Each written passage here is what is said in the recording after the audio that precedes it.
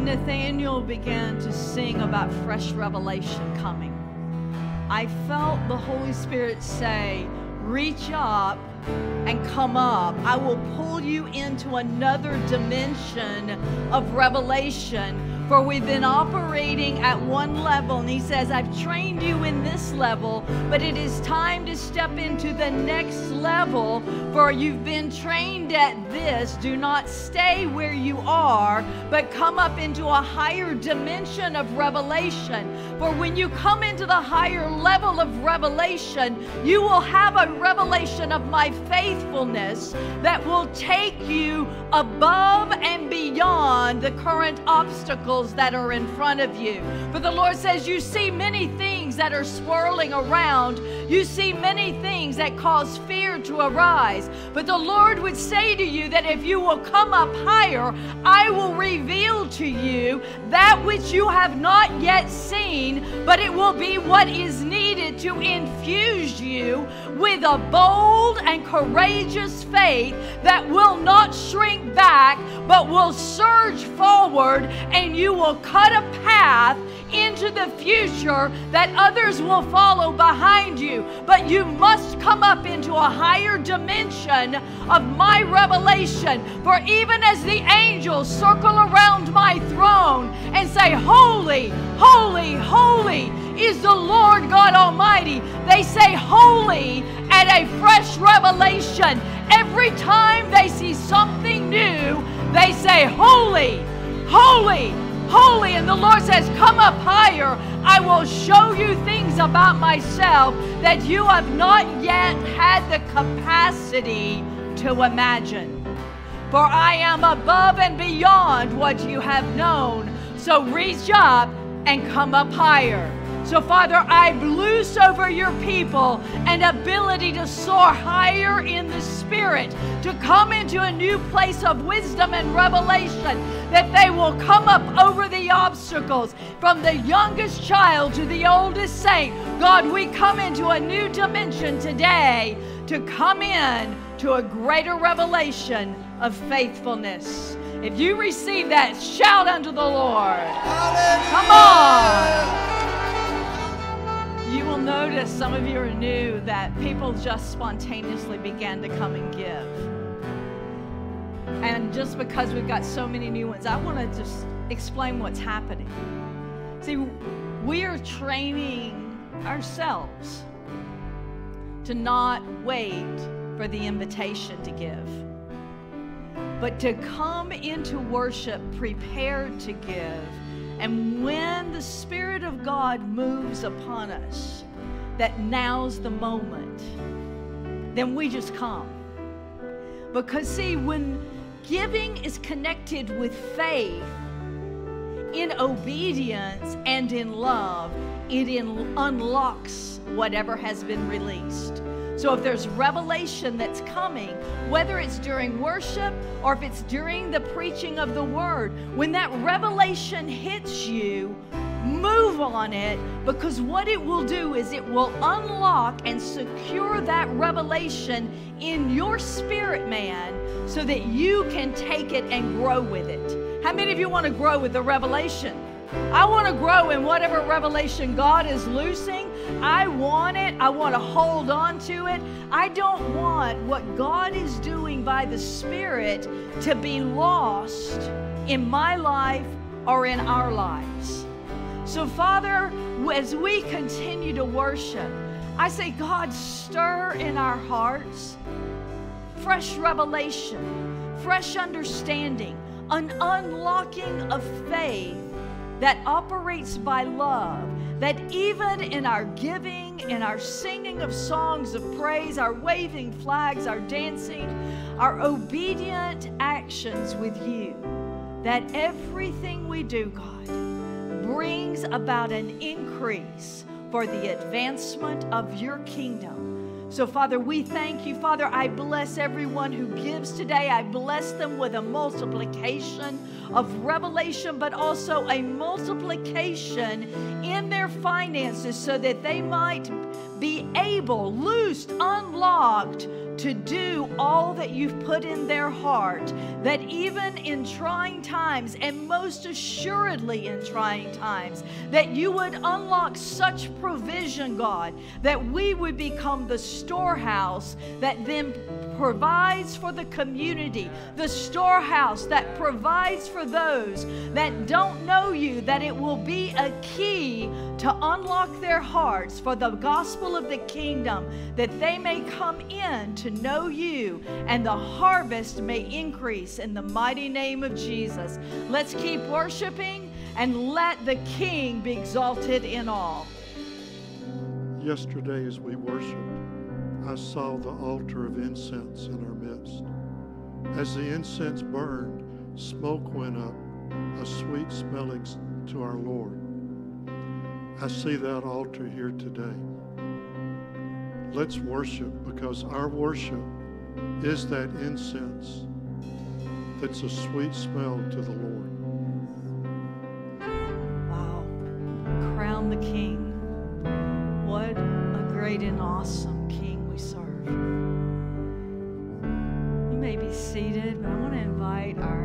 children to come forward. You know, one of the things that Jesus said was, Suffer not the little children to come unto me. And we are celebrating having children come. And not just to come into the house, but to come and be trained and equipped, activated and commissioned to minister. Come on. That is special. If y'all will just come in, in the order that you're listed, because otherwise I'm going to get really messed up.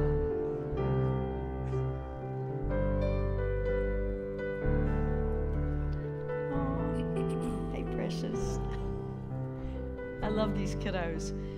For the last nine weeks, I think it is, um, these children have been trained in healing room kits, been trained to lay hands on the sick and see them recover. They've been learning how to be still in the presence of God, go into their own secret place, and learn to hear and to see from Holy Spirit. I know some adults that need some training. But these little ones have been listening and watching Holy Spirit move, drawing what they see, writing what they hear.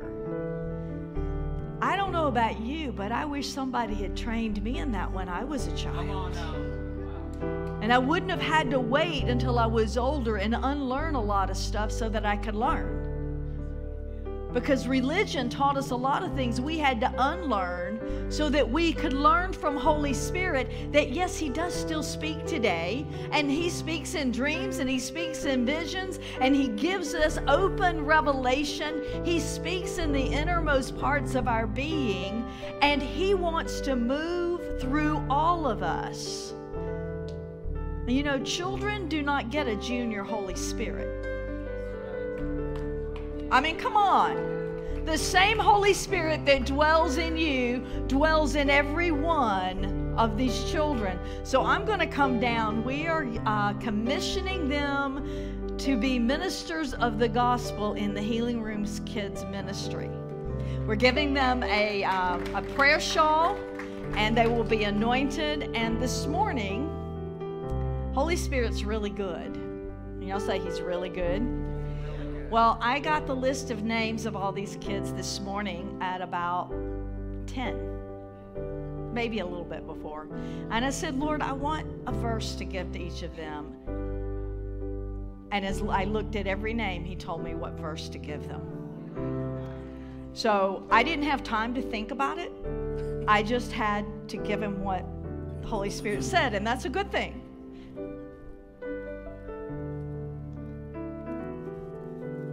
I want you to um, This is Kathy Nash. She has been doing the training and the Healing Room Kids. And Joanne uh, is on the end, and she is our children's pastor and been working with these kids and working with them not just with the Healing Room, but overall with our curriculum and training our teachers. We want our kids fully trained and equipped in the Word of God and the Spirit of God.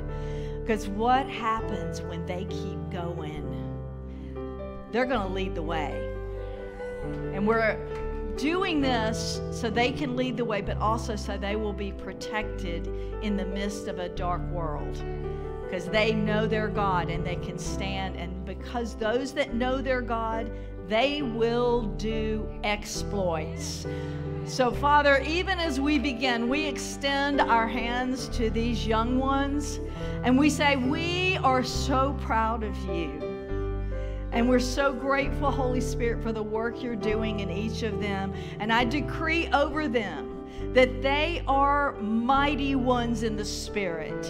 And they will do exploits. They will see signs, wonders, and miracles following them as they live faithfully to the Lord Jesus Christ. And we thank you for them. All right, McKinley. I have to get my hug. I always get a hug from McKinley. She's my sweetheart. We commission you today. And the verse the Lord gave me for you, McKinley, is Acts 4:31. As they prayed, the earth shook beneath them, causing the building they were in to tremble. Each one of them was filled with the Holy Spirit, and they proclaimed the word of God with unrestrained boldness.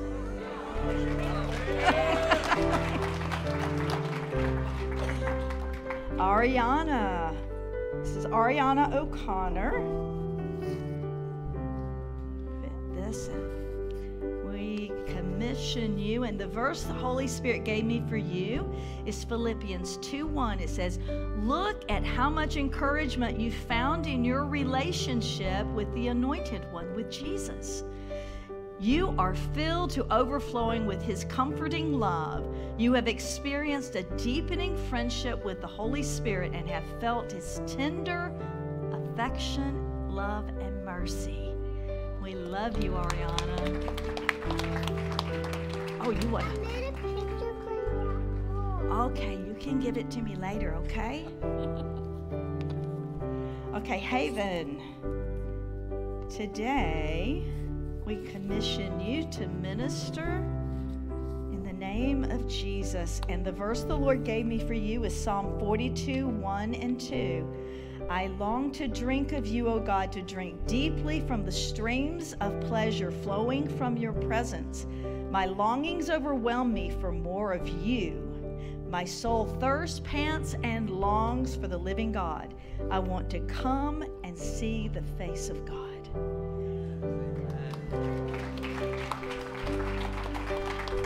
All right, Jet. And for those who don't know, Jet has a new baby brother.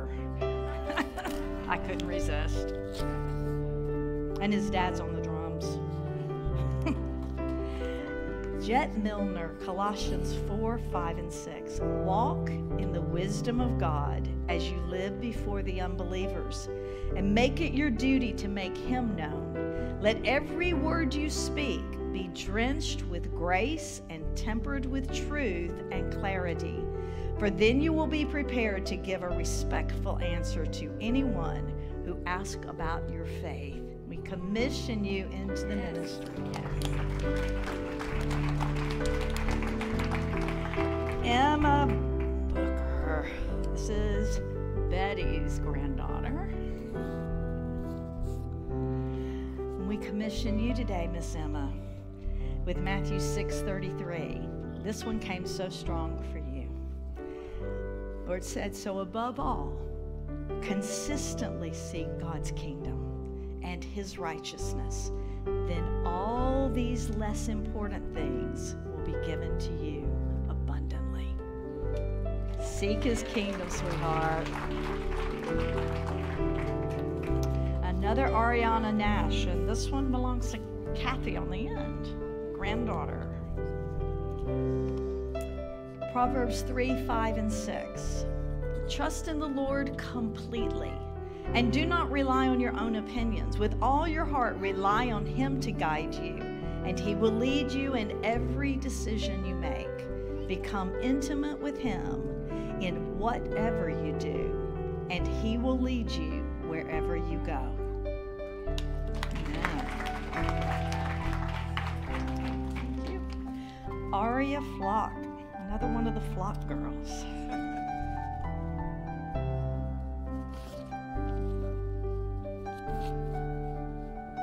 Commission you, Healing Room Kids. And the verse for you is Psalm 96, 1 through 3. Go ahead, sing your new song to the Lord. Let everyone in every language sing him a new song. Don't stop. Keep on singing. Make his name famous. Tell everyone every day how wonderful he is. Give them the good news of our great Savior. Take the message of his glory and miracles to every nation. Tell them all about the amazing things he has done. There's a lot loaded in that for you, sweetheart. All right, Lucas. And you are up sounding the shofar for us today. All right, thank you for doing that. It was awesome. We commission you into Healing Room Kids with Philippians 4, verses 4 and 5. Be cheerful with joyful, joyous celebration in every season of life. Let your joy overflow and let gentleness be seen in every relationship, for the Lord is near. And I'm going to say, He is near to you.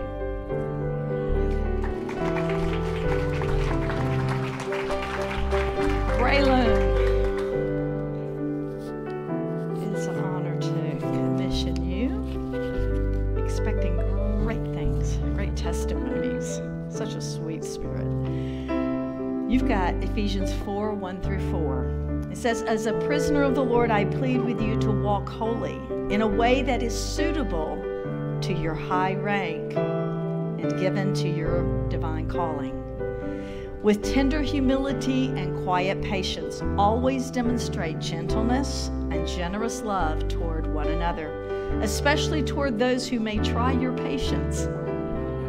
Be faithful to guard the sweet harmony of the Holy Spirit among you in the bonds of peace, being one body and one spirit, as you were all called into the same glorious hope of divine destiny.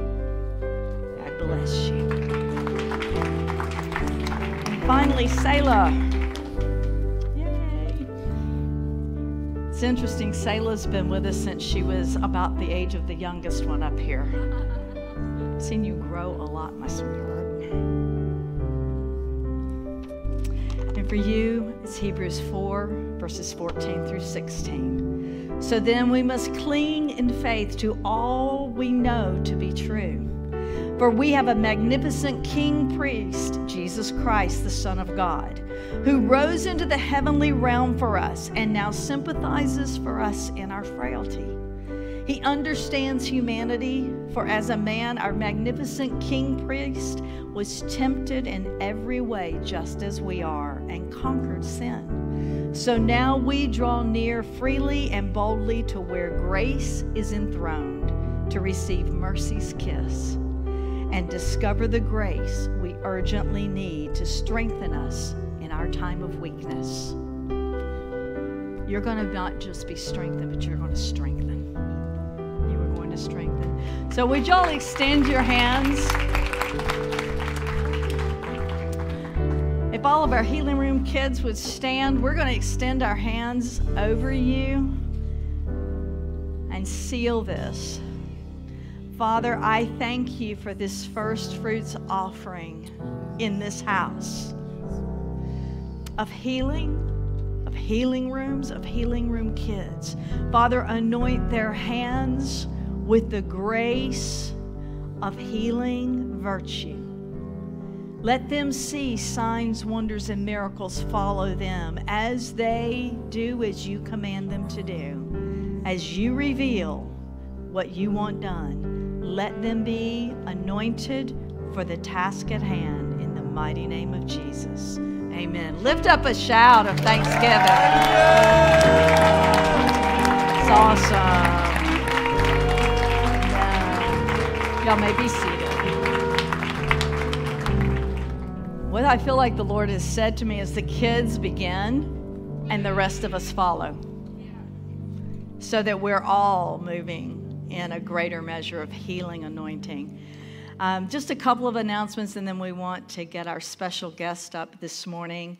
Um, I'm announcing today that on December the 10th, Sunday, December 10th, Clay Nash will be here with us.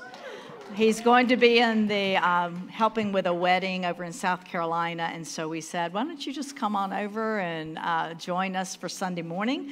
So I'm excited about that. We will have Advancing Faith, our class at seven o'clock on Tuesday night, revival prayer at noon on Wednesday, and don't forget the. Uh, prayer call every day at 222 and then on friday nights at 9 and this next weekend friday and saturday um, if you will go to claynash.org, the Josiah Company Conference, uh, that is the people that are coming gathered from the prayer, daily prayer call will be gathering at Glory of Zion next week next weekend. I will be there. A number of others from here, I believe, are going out as well. But if you're not there, you can watch online and be a part. So it's really strategy. Chuck Pierce will be speaking, Dutch Sheets, Clay Nash, and some others. So uh, be a part of that. And let's get equipped and prepared, even prophetically prepared, for how to move forward in the days ahead. Because we're in some very interesting times um, very challenging times in our nation and in the nations of the world. So I, I encourage you, press in on your prayer life.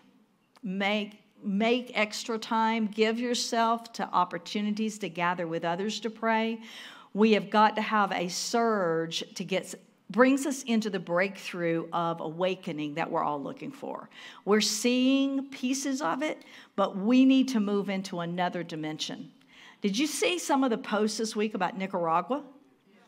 As many as 650,000 people gathering in worship, and thousands and tens of thousands coming into the kingdom of God.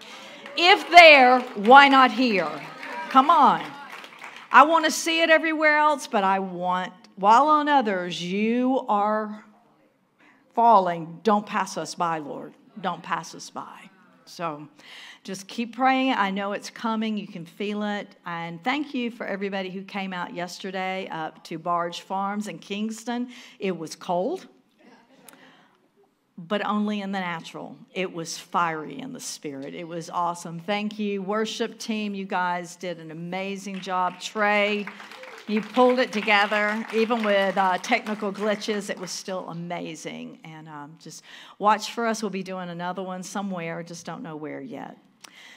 So, Kevin and Rose are no strangers. In fact, they're family in this house. Um, we have, Kevin and Rose and I have been friends now for almost 20 years. Uh, met in the fall of 2004. It's hard to believe. We were so young at that point in time. Uh, we're still young, right? Um, but we are. we are honored that they're back with us. We have had an incredible week with the return of the Chiefs. The gathering downtown was amazing, and then down over at the Peace Park with the planting of the tree. Just in, an incredibly significant prophetic time for our state and I expect there's going to be more to do. And then they joined us yesterday. I also want to have Sharon Pedlow and Paul Best. If you would just stand and turn around and greet everybody. Um, they've been with us before. Paul um, is an amazing historian, etymologist. Uh, health person. I mean, I don't know how long your resume would be if we really started laying it out. Um, but we're honored that you are with us, that you came over. But Kevin and Rose, if you would come, we are so blessed that you are here today. I want to, if you'll grab the microphones right there. You can each have one if you want. Now they're sharing. Okay. Well, y'all, one more time, extend your hands. Thank you so much. Thank you so much. Father, I just want to bless my friends and thank you in advance for the word that you have given them to release to today in this atmosphere and into us. Father, we say we will take what you release and we will work it and we will move with you. So, Father, bless them with an open heaven. Fill their mouth with words and wisdom. Let the anointing break every yoke of bondage and let the purposes that you have for them today and as they continue their travels to be fulfilled in abundance in Jesus' name. Amen. Amen. Well, good morning. Am I? Yes, I am on. I was going to say, am I on? I, I don't actually know if I am on or not. You know, some mornings you wake up and you think, Am I awake? Today happened to be one of those days. And you know, some days we can bluff you as leaders. Some days as leaders we can come in here and go, Morning, everyone, and hi everyone? And then we can do all that stuff. This morning has been a fight. I want to say to you all, this morning for me personally has been a massive fight to get here. It's been a fight because the enemy does not like me. He does not like me in your territory. He does not like the word of the Lord that's going to be released. He does not like the things that have gone on this week. You know, we did some amazing things this week in the spiritual realm, all of us. And the enemy's going, Really? Well, look at you. Let's see how you deal with just the little incidental things. You know, when you can't find your socks, I can't find my socks. I found my socks, Sharon. But I hadn't found my socks for two days. My feet were freezing yesterday. freezing. But praise God, I was there. You know, simple, silly little things that when you're looking through your suitcase, you suddenly go, ah, for dear sake. You know, you get all agitated, but you see me up here going, oh, praise the Lord. Praise the I was not praising the Lord this morning, people. Just being really real, in the bedroom, I was not praising the Lord. I was as grumpy as get out. And I thought, what is wrong with me? But then we were driving in here, and I seen a billboard. And it's some silly advertising billboard, but there was a spider on it, and there was a web, and it says, We are in the web. I'm in the car, and I went, I'm in no web the spirit of deception that is trying to come against me this morning to get me all tangled up and all caught up in that stuff that I can't even move. It's coming off me now in the name of Jesus. And I want to thank Nathaniel and the team. I mean, yesterday, Nathaniel, I have no idea where you are in this room, but yesterday I couldn't even contain myself with the tears. The worship anointed on your life is incredible. This morning was the very same. I thought, now stop it, Rose, just stop crying because you're getting up to minister. Stop crying. Such an anointing on your life to bring the peace of the Father, to remind us of who we are and whose we are, to remind us of our past victories. I had it all going on there this morning, remembering the past victories. God's with me. Why am I feeling like that? I have no need to feel like this. I'm his daughter. I'm the daughter of the king. I get to crown the king. I mean, come on, think about who we are. So, all those little agitations this morning that some of you may or may not have had on the way here, let's just shake them off. We're not in no web. We are in no web in the name of Jesus. But it's such a blessing to be here uh, back with you again. It doesn't even feel like a year, I guess, since we were here last year, but we do love to come. Uh, to City Gate, we are grateful for your apostolic mother of the house here, grateful for her wisdom, and, I'm, and you're blessed to have her here. Because, you know, I never forget that. Never forget that. Is she going to annoy you? Yes.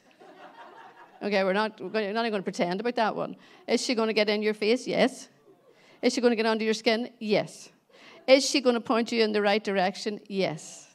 Is she going to pray for you in the middle of the night when the Lord wakes her up? Yes. I mean, these are things that, uh, as leaders, people don't understand that we love them and want to see the destiny unfurl before them, see the bigger picture, and, and all of a sudden that can look like control it can look like, oh, the Jezebel spirit. Listen, let me talk about that Jezebel spirit. That, she's nothing. Absolutely nothing. You got to look at her daughter. Her daughter's moving on this earth right now. Stop talking about Jezebel. Start looking at Athaliah. Athaliah wants to take you out and take everyone around you out because she wants the throne. So don't be moaning about Jezebel, who just has a bit of a control issue. Start looking at the other lady. But anyway, that's nothing to do with nothing. Uh, because you're in the prophetic house, there's multiple ways I could have went here this morning. In fact, I'm just going to I'm just going to go here with this word. Um, this is what I got. And the Lord would say to you, live in a state of readiness, in a position poised to move when He says move. Oil lamps ready to light the way. It's time to fill your lamp with fresh oil. Time to check the wick is ready to burn. Is your wick ready to burn? When the match is struck. We struck some matches yesterday. And I actually smelt smoke yesterday. I don't know if anybody else smelt that smoke up there at the barge, but I smelt smoke poised and ready to burn with holy fire for the kingdom. Time to be seen. This is a time, people, where we need to be seen. You can't be hiding your light under a bushel anymore. We need to be seen in this world. No more half hearted saints, but saints full of passion and desire to fulfill the kingdom call. Ears and eyes pure. We could stop right there. I could stop right there and say, What did you watch this week on your TV as you were relaxing?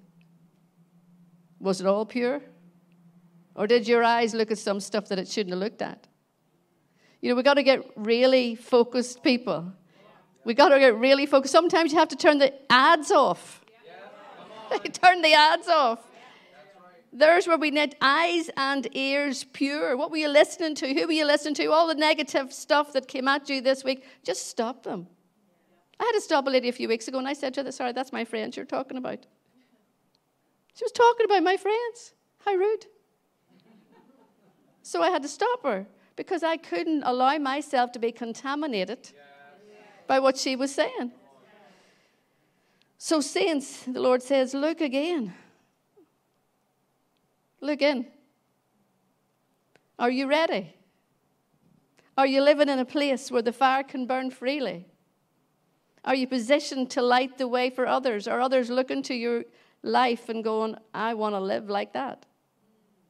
I see Jesus in them. I see eyes of fire burning in them. Or are, is the chameleon coat on you too often? Are you living in a place where the fire can burn freely? Are you positioned to light the way for others, burning ones for his kingdom's sake? Live ready. The master is coming. I mean, it's a simple word. But it's a deep word. Gosh, we've got to look at that and, and say, oh, Am I really ready? Am I ready to go when He says go?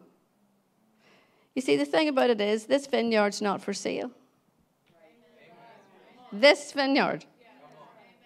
We can say this vineyard. We can say that vineyard. We, but this vineyard, it's not for sale.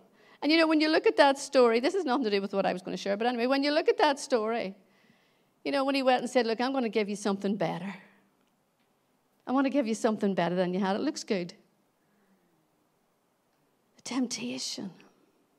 It looks better. The position could be better than what I have now. Hmm.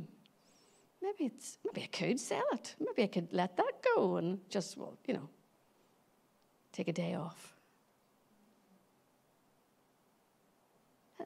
And then he said, This vineyard's not for sale. Why? Because it was to do with his ancestors, those who are coming behind. Every decision I make today affects not just this, but it affects this the unborn. It affects the unborn. So if I compromise today, and people, I've compromised in my life. I'm not no angel. But I'm saying I'm trying to live my life with eternity in, in my gaze. I've changed the way I think or used to think. Deliverance is wonderful. So every decision that I make. So what did he do? He went home and he huffed. He sulked. He got into bed. Huh, wouldn't sell me. Wouldn't sell me. I'm going to use manipulation now. Wouldn't sell me it. I was wanting to give him more, but he just wouldn't take it. People around you can make you feel bad with their words with their actions, with their silence. They can make you feel bad.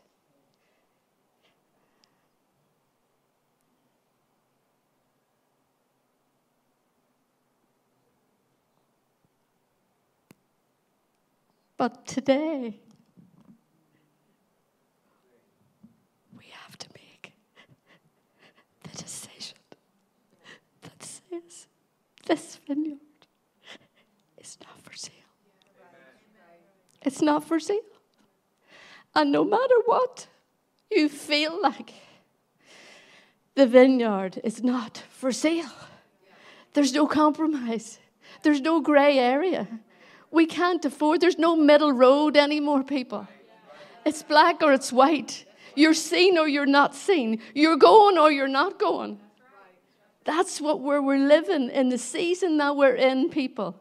The choices that you make today affect the unborn coming right after you, your generations. Don't go selling your vineyard for something just to keep somebody happy because you might just get something better. I'll tell you what, your better will be ruined in a moment. Your better to keep everybody happy will be ruined in a moment when they turn and say, hmm, I don't know you. Listen, our God is looking for a bride that has made herself ready, that lives in a season of readiness, that's ready to go when the match is struck.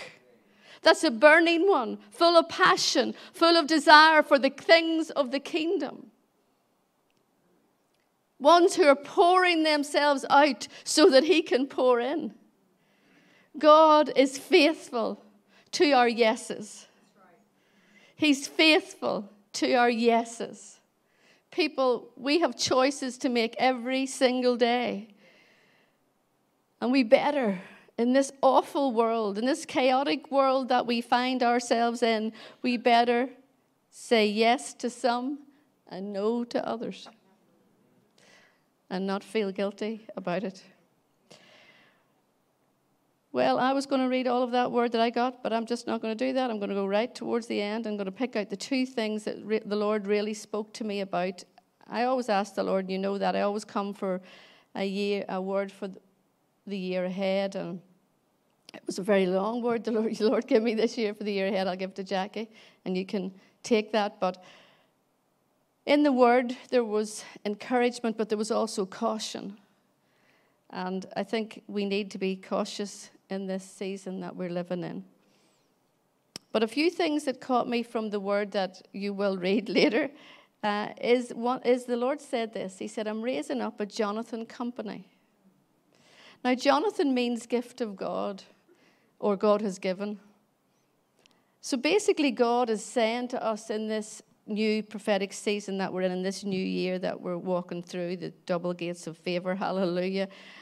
He says this he said, I'm raising up Jonathan's men and women of integrity, of purity, of selflessness, ones who will warn us of evil, ones who will course correct us through a heart of compassion and love, ones who are full of faith, devoted to God ones who walk in the supernatural life, hearing God and moving in swift obedience. God will reveal these soul friends. You see, Jonathan was a soul friend. The Celtic people called them Anam Caras, a teacher, a companion, a spiritual guide, but it wasn't just one way. A soul friend was a two way relationship. A person of great trust, one who you would always who would always watch out for your back. One who was obedient, trustworthy, a visionary against all odds. This is Jonathan's. These relationships are founded on connections, authenticity, trust, and respect. You want to build relationships like that, people. If there's anything more important in this season, it's strong relationships. You need to know who you're going to war with, not just lunch. And this is especially needed in this season of transition that we find ourselves in. So the faithful Jonathans are being raised up. Raised up without the spirit of entitlement. Is anybody tired of that thing? Jonathan knew who he was. He was next in line to the throne. Saul's eldest son, he was a warrior, warrior. He was fearless, even in the face of battle. He knew what was needed and when it was needed. Boy, do we need the Jonathans in the body of Christ. And when he met David, the verse, if you read it, says, The soul of Jonathan was knit with the soul of David. How lovely is that? First encounter, you just. We've all had people like that. We all know people like that. We all love people like that. I've had that so many times. Jonathan will show us, really, I believe the Jonathans will show us what honoring and preferring really look like. Really look like. Not, no, go ahead, have my seat. Don't believe they get to give her that seat. you know, we, we, we bluff this thing that all that doesn't go on in there. Let me tell you, it goes on in there. Just get real and repent. Even when his father in 1 Samuel 20, 30 said, he spoke to him really harshly. He said, Your kingdom's not going to be established. In other words, who do you think you are? You're going to, your kingdom's not going to be established. That's his dad speaking. Even when he heard that, he had a choice. And he still remained faithful. He still remained caring. He still remained protective over David. After hearing that, you're getting nothing, boy. Didn't matter because his soul was knit. There wasn't a what about me in sight. You know, like Joyce does, Joyce Meyer says people wind themselves up every morning, you know, and then they go about, what about me? What about me? What about me? All day long, you know. We all know those people. Not a what about me in sight. Jonathan didn't have that. You know, it's like, Lord, help us be faithful Jonathans. When the Lord said He's raising them up, it was almost like, let me be one, God. Let me be one. Help us to know them, to discern them, but help us listen to them. You know, just when I said that, listening to I thought about Duncan Campbell. Duncan Campbell, you all know that this, this the, uh, the Hebrides revival. Wee Peggy, a lady of 86, was blind. She was a prayer warrior, prayed in the revival, basically. But I love Duncan because she said to him, one of these things she said to him, she was praying, and she said, I think you've got to go to this village. And he basically said, No, I don't feel that. And she said, Well, well, Mr. Campbell, if you knew God how you should know God, he was a minister. Like, way back in the day, you wouldn't have spoke to your minister like that. Well, you, would, you shouldn't speak to your minister like that now. But she did because she heard God. But his response is brilliant. He went. He went, and revival hit the village. There was no pride in the man. He didn't go, Who on earth is this blind woman trying to tell me what to do? I hear God. He listened to her. And sometimes we don't like what Jonathan's will say to us. But sometimes we've got to step back and go, now, wait, God, is this really you? Because maybe I do need to sort myself out. maybe there is something in me that they're seeing that I don't. You know. The second thing that I love in the word is this He said he's raising up hubs of habitation.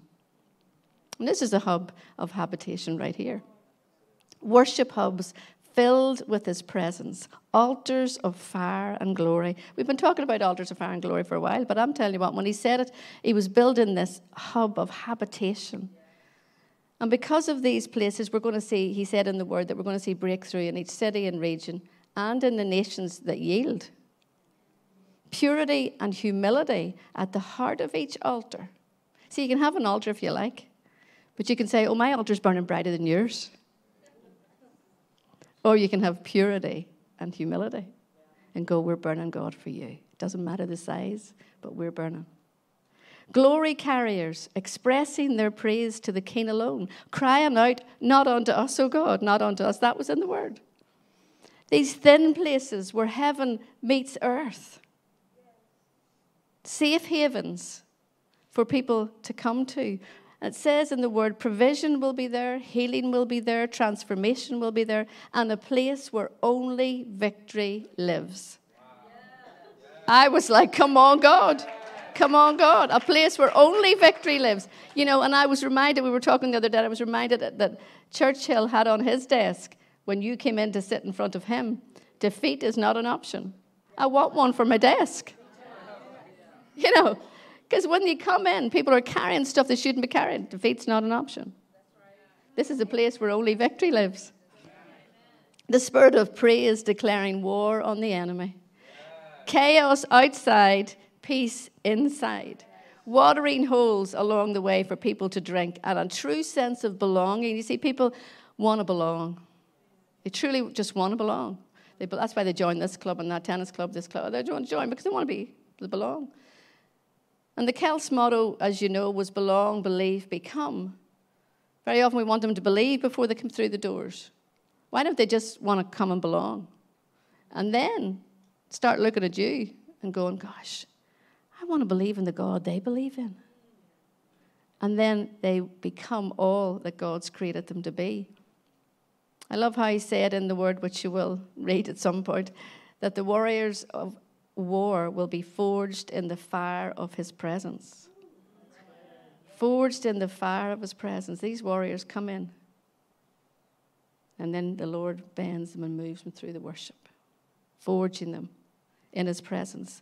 They will carry, he said, the fragrance of Goshen, and they will go in and out of these hubs to the land of chaos. Eyes ablaze with my love, he says. Forgiveness on their lips, bringing hope and life from a place of humility to the broken brothers. Listen, there's a few broken brothers out there that need Jesus, that need to come back in. It's up to us. He said he's raising an army of those who were once lost. Ooh, I cannot wait to see those guys return because when they return, they're coming back with fire that will probably put us ashamed, make us ashamed. And all from the hubs of habitation.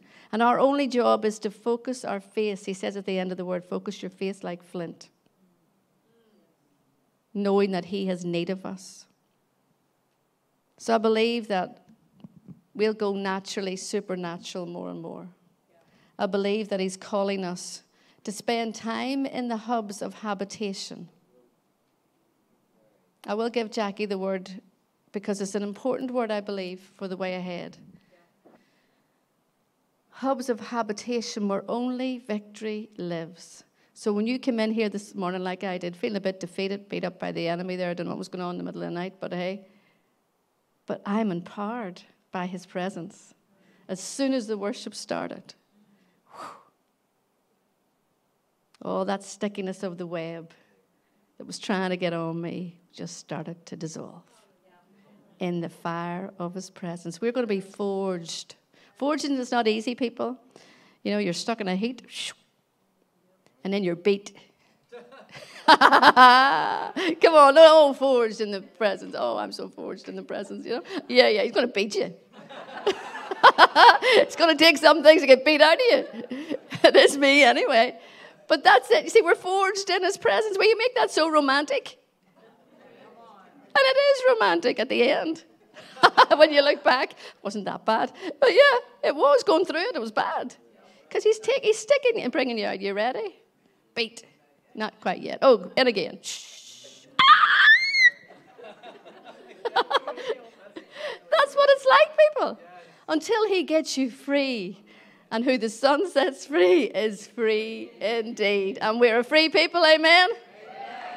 Thank you.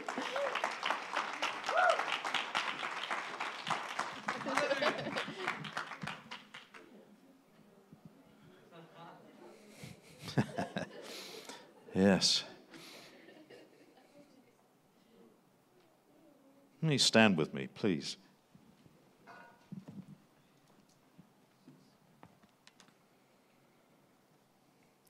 want to honor Apostle Jacquie and her team and CityGate and everything that you're doing here. It's immense. Let that settle upon you. Immense.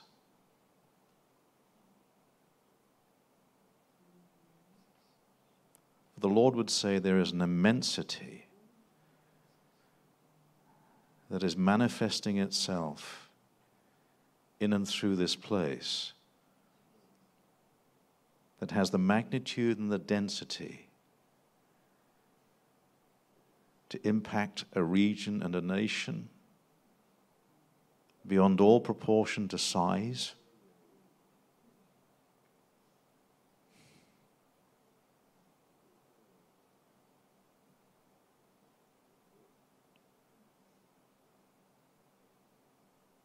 The Lord is asking me to remind us of a phrase that He gave to me some time ago. As individuals, don't chase the spectacular at the expense of the significant. And there's a significance here, an immensity and a density of a spiritual atmosphere. And I hear the word flood. Flood. This is a floodplain a floodplain. Hell has no insurance that will protect heaven's floodplain. For the Lord says the river's about to burst its banks. There'll be a manifestation, saturation of Holy Ghost power, immensity. Father, I pray that that would soak in to our consciousness here today. Immensity.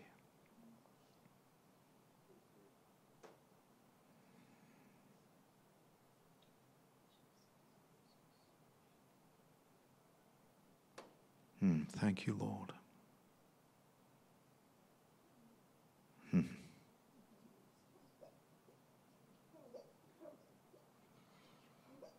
Thank you, Lord.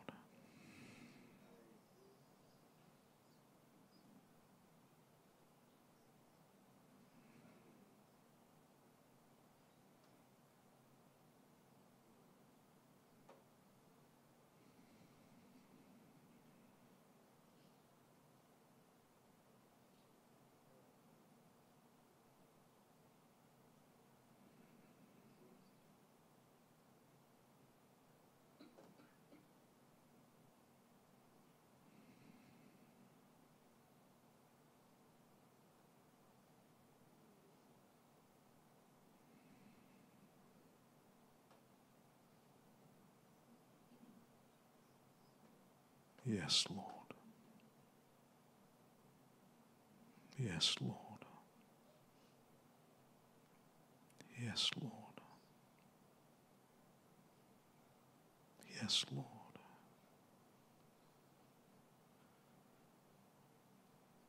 For those gates that seem to have remained shut.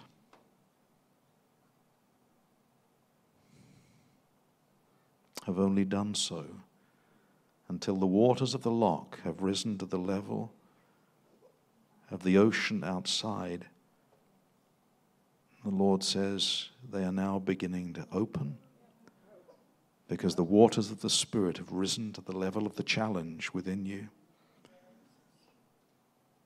And I see you sailing through those lock gates, rising higher and higher and higher in the Spirit.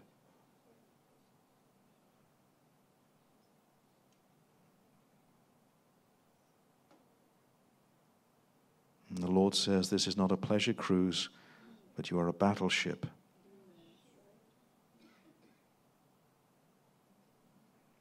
And the Lord says, You will fire a broadside at the Broadway. You will fire a broadside at the Broadway that leads to destruction.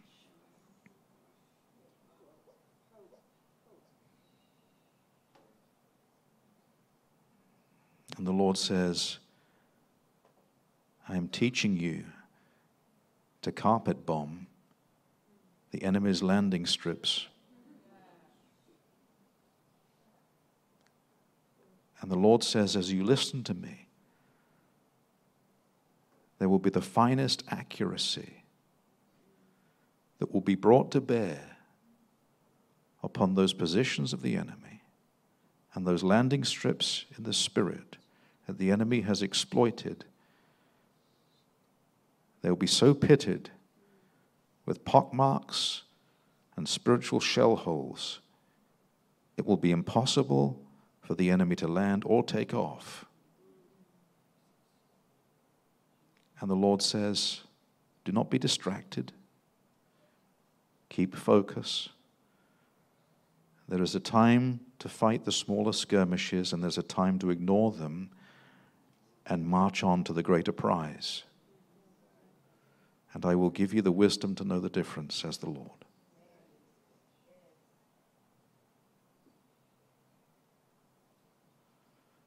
And I also hear the Lord saying that I have not come to bring peace, but a sword. And the Lord says, I am gracing you in this hour to weather the turbulence of relationships within your family and outside your family, to hold fast, to hold course. And as unpleasant as turbulence is, there is a redemptiveness about the discomfort that your presence will bring even to family members and the world around you. But the Lord says, hold fast, because in the end, there shall return a harvest of righteousness upon the godless, and they will change in a moment, and that quite suddenly, and beyond even your expectation, even though you lack not faith. The Lord says you will be surprised by the suddenly of the turning of those who opposed you. And the Lord says, Hold fast through the turbulence. Hold fast through the turbulence.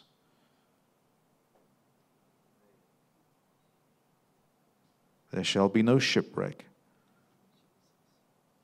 There shall be no breaking apart.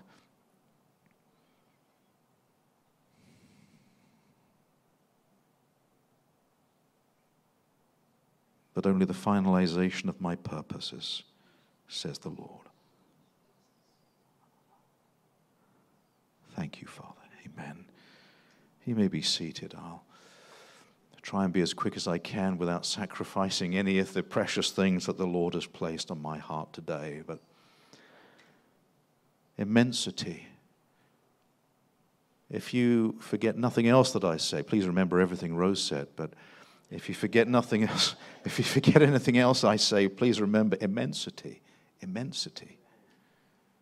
Immensity.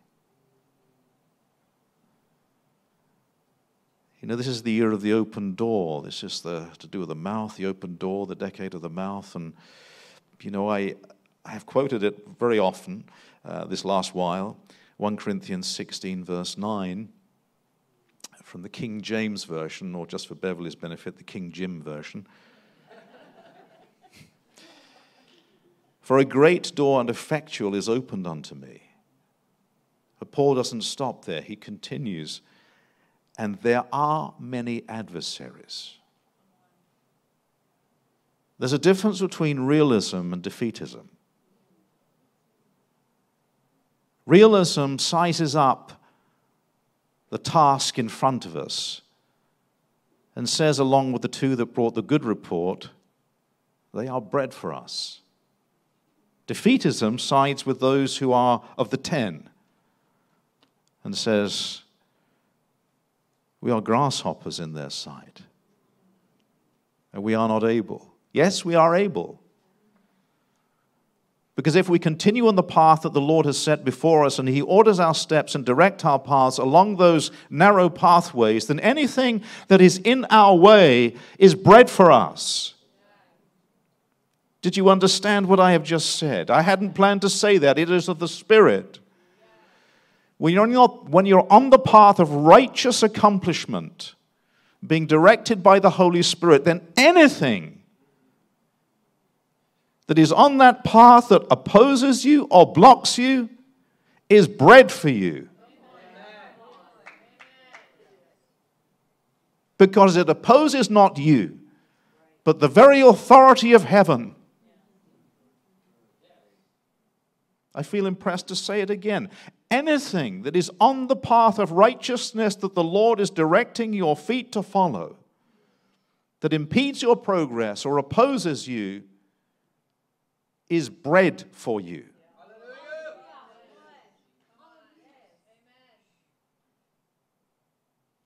There is nothing that is impossible to God through you that would raise its ugly head that you cannot decapitate.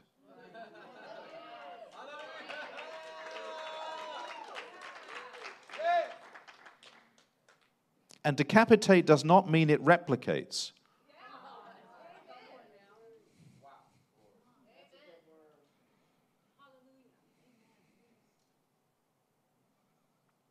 For a great door and effectual is opened unto me, and there are many adversaries. Well, listen, fire burns with oxygen, does it not? You suck the oxygen out of the atmosphere, you'll get no fire. But I tell you what, if you have the oxygen of optimistic prayer, the fire will burn just fine. But it's hard to be optimistic, as Vance Havner said, if you have misty optics. How are you looking at things? Where is your perspective? You're above only and not beneath. You're the head and not the tail. Your ability to see far beyond into the future excels and exceeds anything that which the enemy possesses. And you can see the victories on the horizon where he only sees defeats for you. But those seemingly moments of defeat are but learning lessons and springboards to the future success of your call and your destiny and when he threatens you, like the Persian and the Persian king did the Spartans, our arrows will blot out the sun. The Spartans replied, Good, then it will be nice to fight in the shade.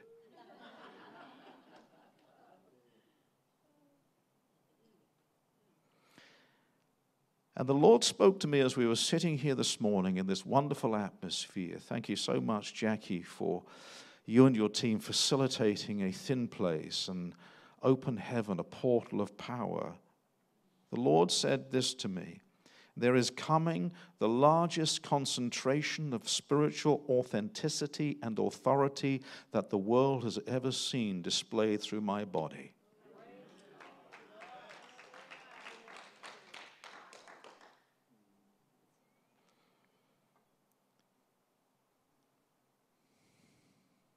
And at the name of Jesus, every knee will bow, whether things in heaven, things on earth. And this is what the Lord highlighted to me today things under the earth. For the Lord says, even here, there are underground networks that have been forming, that have been concealed.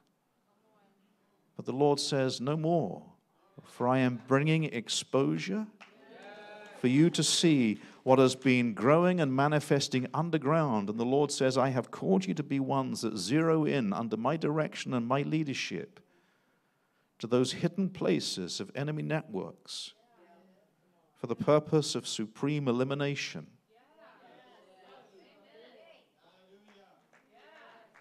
And the Lord says, I am giving you x ray vision to see beneath the surface of things to the lurking, hidden things that lie beneath. And it's almost as if when you see them and you see really what drives them, it's not going to be a gasp of astonishment of how massive it is. That in the Spirit, with the authority that you are clothed and mantled with, you'll find yourself saying, Is that all? Is that all? And that's not a place of pride, that's a place of astonished humility at the greatness and the presence of the Lord as He commissions you afresh to see beneath the surface. And that's what I'm sensing. I must make progress. So I, I want to talk re, uh, briefly, very briefly now, about the weaponization of thanksgiving not your turkeys and ham and uh, the other things that you'll find later on this month on your table. And my goodness, that's weaponization at its best. You know, uh, I, you could almost import Psalm 23 if that's not blasphemous. He has prepared a table before me in the presence of my foes. We feast, he falls. And maybe there's something prophetic in there that as you gather around with your families, that all the agitation and all the, uh, the stuff that surrounds the previous 12 months from the last Thanksgiving until now, you feast and you say, No, we're going to feast and the enemy will fall. And all these things will evaporate amidst the surfeit of turkey and, and ham and all of that. But anyway, I do with that what you will. It's not a thus says the Lord, but it's a healthy anticipation. yes. 1 Thessalonians 5, verse 18 says, In everything give thanks, for this is the will of God in Christ Jesus concerning you or for you. And I have never felt such a, a, a, presence of the Lord upon this scripture as I do in this season for the body of Christ. In everything, in everything, in everything, in all circumstances, give thanks. For this is the will of God in Christ Jesus concerning you. And it does not say for everything, but in everything. The weaponization of thanksgiving is a much neglected part of the spiritual armory of the uh, warrior in Christ. And I want to begin where it ought to begin that everything has a beginning, and its beginning is in the grace of God. And I, I now refer to Ruth in the book of Ruth.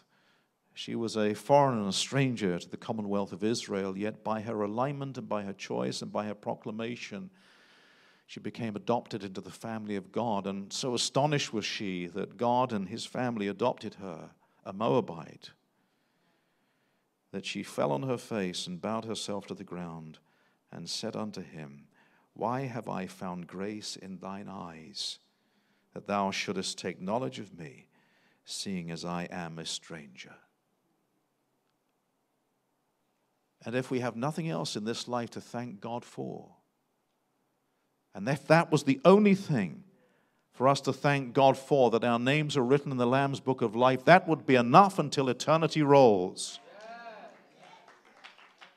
You can tread on all the demons and cast out all the enemy that you like. And Jesus said, Don't rejoice in these things. Rejoice in this, that your name is written in the Lamb's book of life. And so, even on your worst day, that entry in the Lamb's Book of Life is still there, indelibly marked with indelible ink in the blood of the Lord Jesus Christ. Your name is written, and you can get up in the morning whether you feel glad or sad, and you can say, My name is written in the Lamb's Book of Life. Hallelujah. This is the day the Lord has made. I will rejoice and be glad in it.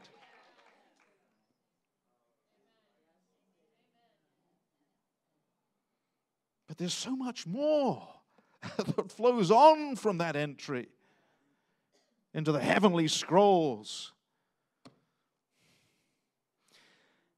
But you see, thanksgiving is a habit, it's a discipline, it's a decision of the will, it's an act of worship, it's all these things, and it has to be cultivated. Thanksgiving is a muscle that must be developed by exercise. How are you getting on with that? If, if you don't use it, you'll lose it. Now, think now, pause for this moment in time, pause for the last 24 hours, and think back. How has your Thanksgiving been? Please keep a straight face. I don't want to know anything about it, and I don't advocate poker, but there is such a thing as a poker face, and you can keep a poker face without letting everybody know how your last 24 hours have been. How has your last 24 hours been? Your last week, your last month? Have you weaponized thanksgiving? In everything give thanks, for this is the will of God. Our Father, which art in heaven, hallowed be thy name, thy kingdom come, thy will. In everything give thanks, for this is the will of God in Christ Jesus concerning you. We think the will of God very often is the important stuff that happens out there, the spectacular stuff, the shifting of the tectonic plates in the spirit. It means nothing if you have an attitude that is not one of gratitude. Because if you drop the weapon of thanksgiving, you are very vulnerable. And the devil knows it. And I've got it in my notes if I get to it, but if I don't, I want to say this right now. The devil knows that when you grumble, you will stumble.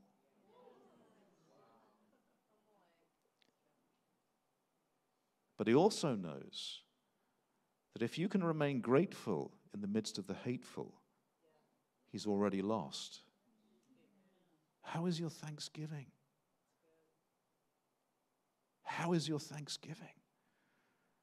And thanksgiving matters most when we like it least. Somebody gives you a big gift and it's wonderful, and all the oohs and the ahs and the goosebumps and the soft focus and all of that. Oh, thank you, thank you so much. It's meaningful. but it's not necessarily that powerful because the motivating force has been something that has done to you rather than the powerful motivating force when you can't find a single thing, naturally speaking, to utter thanksgiving. And you find the, multi, multi, the motivating force is actually resident on the inside of you. And when everything seems to be going, we have an expression pear shaped. I don't know whether that's sort of, uh, it means the circle has kind of dropped a bit. It's, it's, it's, not, it's not complete. Things are just going wrong. How about that? Is, that? is that a better way of putting it? When you can find that motivation of thanksgiving on the inside of you, something explodes in the spirit. There is a detonation of destiny being fulfilled. When you can raise your hands, or the enemy tries to put chains on you, like he did Paul and Silas in Philippi, and they began to use their chains as percussion instruments, and they lifted their hands and they praised God in the midst of the deepest, darkest dungeon, and they released their thanksgiving. Because it actually says in Psalm, I think it's 119, I can't remember the exact verse, but it says, At midnight I will rise to pray to you and give you thanks. And I have no doubt whatsoever that when Paul and Silas were in that dungeon, that scripture was powerfully imparted into their spirits by the Holy Ghost. It's midnight, Paul. It's midnight, Silas. Come on, you know what to do. Yes, will rise and give thanks and we will praise the Lord, and everybody in this prison is going to hear. And do you know what happened? The Lord sent an earthquake. The Lord is well able to rearrange the furniture around you and the geography and the territory.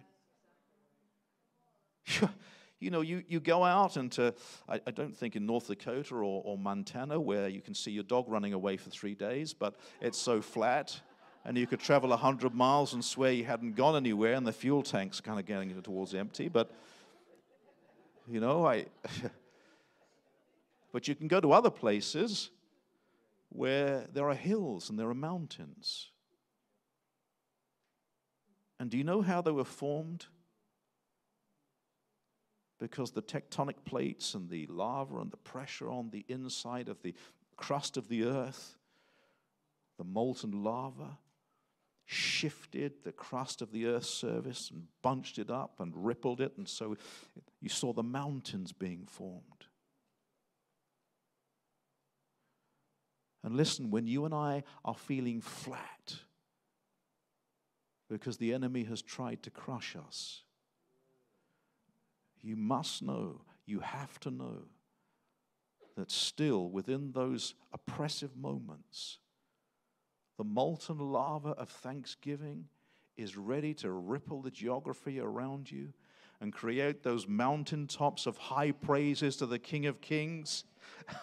and I tell you, you can stand on those mountaintops in the midst of adversity, and the world thinks you're insane, but you see it in the Spirit before it manifests itself in real time. And there's something hot about you, burning on the inside. There you are in the midst of adversity, like Paul and Silas, giving thanks to the Lord. When the devil thinks he has you as a prisoner, thanksgiving is weaponized. And suddenly everything begins to shake and quake, and the doors swing open.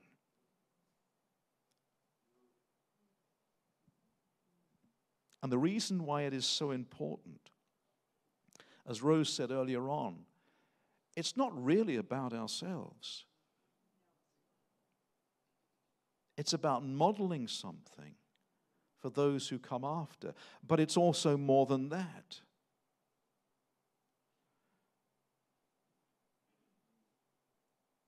Because if in a moment of despair you could mobilize thanksgiving you will change the spiritual atmosphere forever in that moment. Nothing will be the same again. Your perspective will not be the same again. The enemy's power will not be the same again. Nothing will be the same again. And so we have to learn to see it from heaven's perspective. And it's like a, an ink in a syringe, uh, the fluid of ink, and try it. You take a clear patch of water in a bowl or a basin,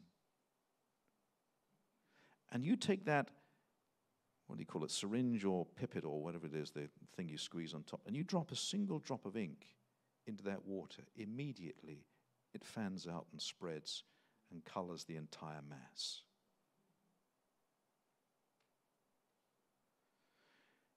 The ink of thanksgiving will write on the pages of time the story of your destiny and that of those who follow. Because there is a ripple effect.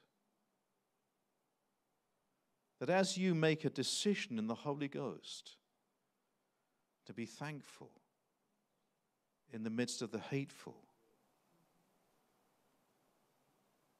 something happens in that moment that can never be altered. Did you hear that? Can never be altered. It can never be altered. It remains on heaven's statute books. That heavenly legislators respond to the thanksgiving of God's people in those moments of confinement and adversity. And even as the supreme judge's gavel comes down and makes that sound, heaven rules in your favor.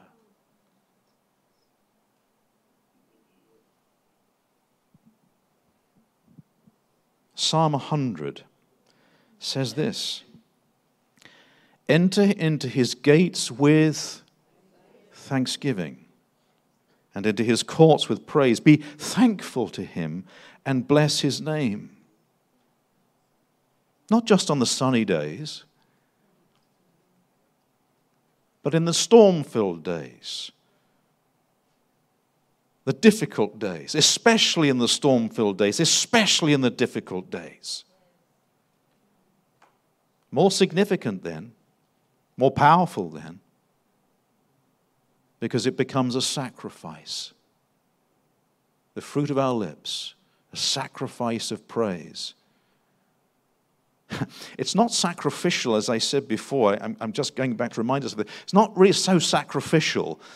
If you have been blessed beyond measure, we have an expression that your socks have been blessed off you. You, you blow your socks off the, the power of the blessing. It, it, it's almost an involuntary thing, you know, uh, uh you know, a, a sacrifice of praise. It's not even a sacrifice, it's just an involuntary response. But a sacrifice of praise means something that costs you.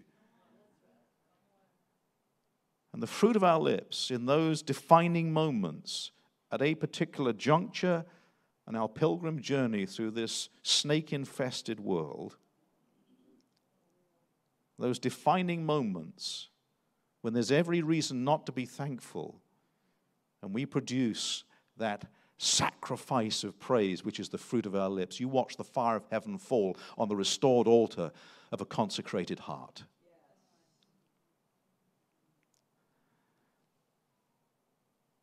But the word thanksgiving here, as many of you, maybe all of you know, is toda, which means to extend the hand.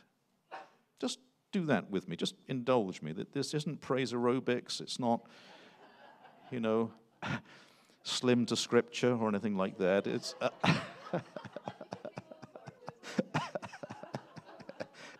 we have the products over here. Um, I'll see you at the table at the back. Uh, no, but extending the hand. So you get the idea. Toda, thanksgiving. Extend the hand. Now, Rose and I went to see Esther in uh, Branson at the Sight and Sound Theatre. If you haven't been there, I thoroughly recommend that you go. It's absolutely wonderful, worshipful experience. The excellence there is praiseworthy, all to the glory of God, and such a timely message when you consider what's going on in the Middle East. But there we know the story. And I'll read it actually uh, from chapter 5, verses 1 to 3. Now it happened on the third day that Esther put on her royal robes and stood in the inner court of the king's palace, across from the king's house. Let me, let me say this the whole point of Revelation is not for us to be spiritual tourists. Taking selfies, you know, next to the throne of grace, or, you know, look at this and getting the angles right, and woohoo, you know, I'm, I'm, I'm with the angels. It's not about that at all. It's about entering his courts with purpose, clothed in royal robes that he has fashioned for us, and standing in the inner court of the king's palace across from the king's house, while the king sat on his royal throne in the royal house, facing the entrance of the house. So it was, when the king saw Queen Esther standing in the court, she found favor in his sight. And the king held out to Esther the golden scepter that was in his hand, which meant life, not death, because she came in unannounced. And should the king have been displeased, she would have been executed. But her boldness approaching the throne, allow me a little license here, of grace to obtain mercy and find grace to help in time of need. That was one of the scriptures that was given to these wonderful children. There was life as the king extended his golden scepter.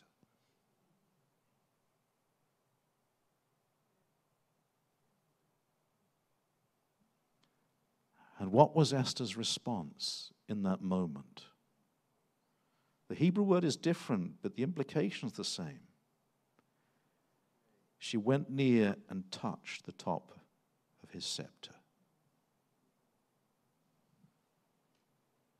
Toda, extending the hand. When you come in to his gates with thanksgiving, you're extending your hand in the courts of his favor to touch his authority on behalf of others or your situation because it involved Esther also. Thanksgiving appropriates favor. In fact, think thanksgiving is the chip and pin to your credit card of grace.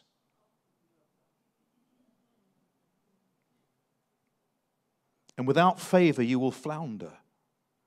But with favor, you will flourish. Thanksgiving secures that favor. How are you getting on with thanksgiving?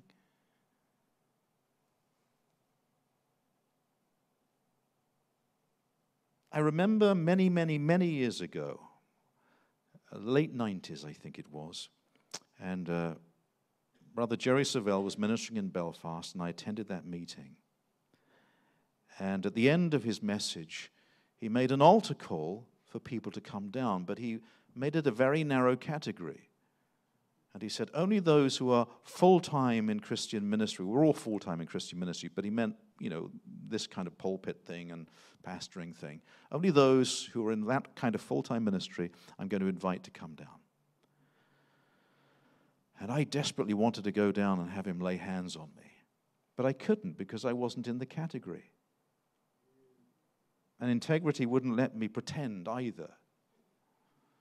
You know, we have to have a fear of the Lord that some things are in His timing And so, anyway, many, many people were going down. And I could feel something unhealthy just rising on the inside of me. It was called jealousy. It was uncomfortable, but it was, it was growing on the inside of me. And the Lord said, Kevin, what are you going to do with that? And I paused. And I said, Well, do you know what, Lord? I'm going to praise you and I'm going to give you thanks for every single person that goes down and receives ministry and the laying on of hands. Because I said, Lord, to the degree that they get the increase, I get the increase because we're all fitly and compactly joined together. And I could feel joy rising up in the inside of me. I tell you, it wasn't but 10 days later, there was a prophetic minister that was ministering in our church and he pointed to me and he said, You, sir, will you stand? And he said, The Lord says it's now time for you to go full time.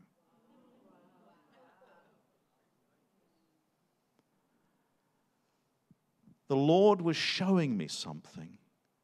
And it was a test, and I passed that test. But thanksgiving mobilized the ministry of heaven in that single moment that knocked that domino down until 10 days later or thereabouts, destiny arrived at my door on time. And you can transport that in any which way you choose into any circumstance of your life. The power and the weaponization of thanksgiving is immense. And I'll finish with these two scriptures. the next one I'm going to go to is Second Chronicles. I'm not even sure, Beverly, whether I gave this to you. If I, if I didn't, I do apologize, but it'll make it all the more thrilling when I surprise you with it, won't it? I, I you know, I, uh, Second Chronicles chapter 20, verses 21 to 22, and we know the situation that Ammon, Moabites, and the Mount Seir, and all the enemies of Judah uh, were invading, and the situation looked very bleak. In fact, worse than bleak. It was, it was really catastrophic for them. And so there was a fast, and there was seeking the Lord, and there was praying, and all that kind of thing. And the answer came You're not going to have to fight this battle, the Lord is going to fight it. And uh, just believe and prosper, be established in this prophetic word and the order of the king, and it's all going to turn out okay. Easier said than done, of course, but they believed it and they, they imported their faith into that moment of destiny. We're using that word a lot today, but I can't get away from it. That destiny, that point of destiny. But you know the thing that really swung it? And this is in the NIV.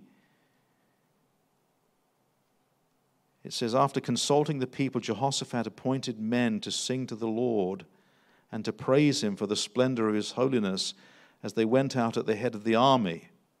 I, I, I was joking the other day and I thought, yeah, I'm in the choir, you know. I sing in the choir. See that ministry, everything? I sing in the choir.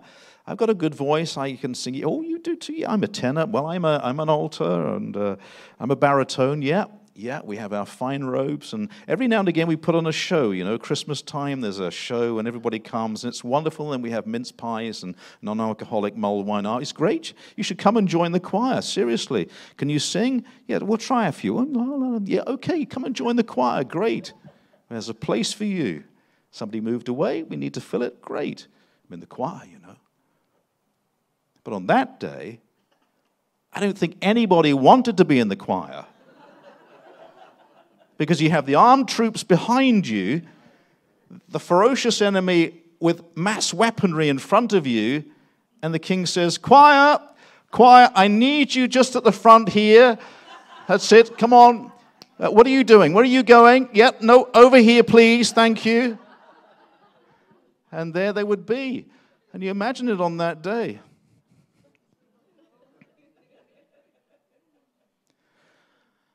Okay, I want you to start singing and praising the Lord. And this is what you are to say Give thanks to the Lord, for his love endures forever. Give thanks to the Lord, for his love endures forever.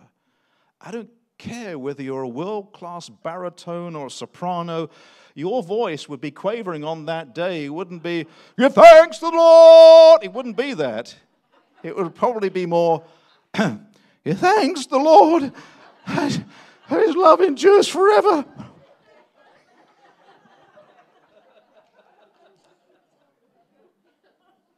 And I guess that's why in the Psalms it says, Make a joyful noise to the Lord.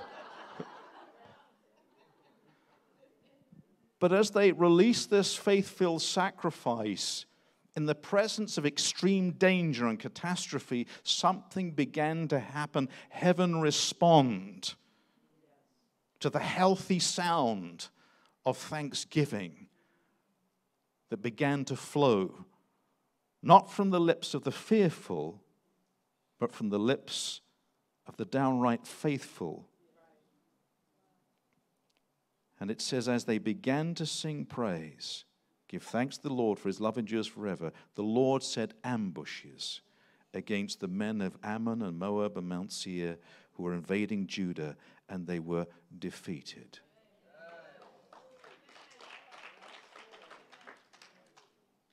Remember how we started? A great and effectual door has opened unto me, and there are many. Give thanks to the Lord.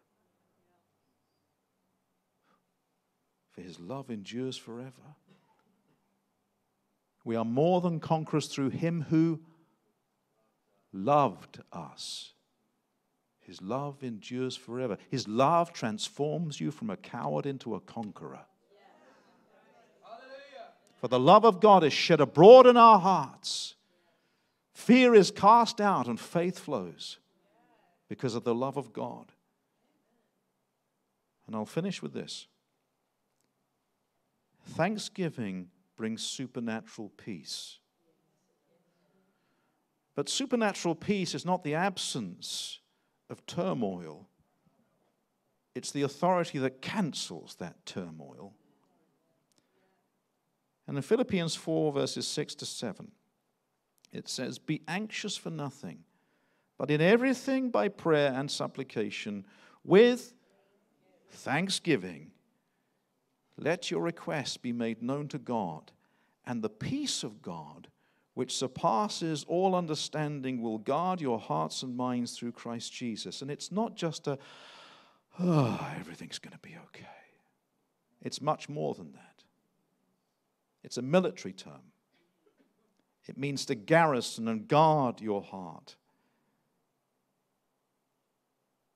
And so, thanksgiving, when you correctly understand this verse, is thanksgiving is the usher that seats peace on the throne of your heart. Thanksgiving is the usher that says, Come on, peace, come on. Kevin's going through something right now. Come on, he's giving thanks. Come on, peace okay, you're powerful, you're mighty. We're going to seat you on the throne of Kevin's heart. Jehovah Shalom on the heart of the oppressed.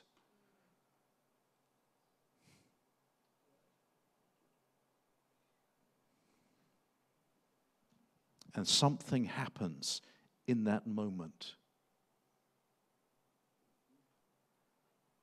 You are no longer the oppressed, but in the peace of God, you become the oppressor of the enemy.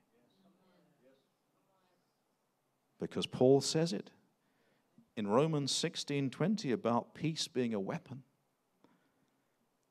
He says, "And the God of peace will crush Satan under your feet shortly." And then he says, "The grace of our Lord Jesus Christ be with you." Stand with me.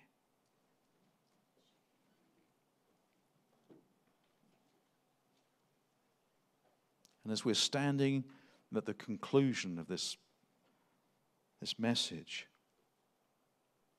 I want us to be reminded of perhaps the greatest spiritual warfare verse in the entirety, in my opinion, in the Bible that says, And we know that all things work together for good to those who love God, to those who are the called according to his purpose. Which more or less says you cannot lose. And so thanksgiving mobilizes Scriptures like that. I thank you, Lord, that I cannot lose. I thank you, Lord, that all things are working together for my good. You know, I, I, happen to believe that I am actually a reverse conspiracy theorist where it doesn't matter what is happening in the world around me, that I do believe that God, in His wisdom, and He is mobilizing creation to conspire to turn out redemptively for the people of God. And that the devils and the demons are nothing more than subcontractors for the people of God and His grand plan of redemption. For we know that all things are working together for good. And so we can say, I'm so deeply grateful and blessed that all things are working together for my good. Come on, let's begin to give thanks to the Lord wherever you are, whatever circumstances you are going through. Thank you, Lord. Thank you, Lord, that my name is written in the Lamb's book of life. Thank you, Lord, that no one is going to snatch me out of your hand or the Father's hand. I will never perish. Thank you, Lord that I can stand on my high places like a, oh, like a, a mountain deer. You have caused me. You're teaching my hands to war, my fingers to fight. The praise is rising up on the inside of me that thanksgiving is being weaponized right now. Oh, and I say in the name of Jesus, this situation, that situation, that circumstance, it's all now coming around for good. And I praise you, Lord. You are so good. You are so wonderful. You are almighty. You are powerful. Oh, hallelujah. Praise God. Oh, everything is working out for me now. Thank you, Lord, in Jesus' name. Oh, I'm a head and not the tail. I'm above only and not beneath. Hallelujah. Hallelujah. Hallelujah. Yes, Lord. Oh, thank you, Lord. I thank you, Lord. Hallelujah. Praise you, praise you, praise you. Oh, Mama praise you, Lord. Hallelujah. Oh, glory be to you, Lord Jesus. Oh, glory be to you, Lord Jesus. Hallelujah. Hallelujah. Hallelujah. Hallelujah. Oh, praise you, Lord. Jacquie, I don't know how you want to finish this, but I tell you what, there's a mobilization of thanksgiving.